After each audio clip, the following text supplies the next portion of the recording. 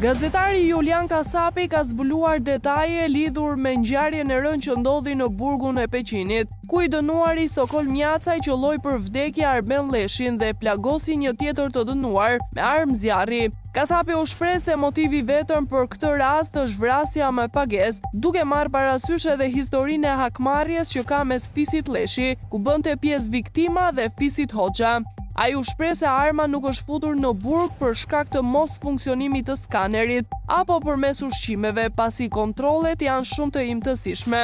Sipas tij, ka pasur një bashkëpunim me gardianët për sigurimin e armës brenda burgut, pasi ata janë hallka më vulnerabël e sistemit të burgjeve.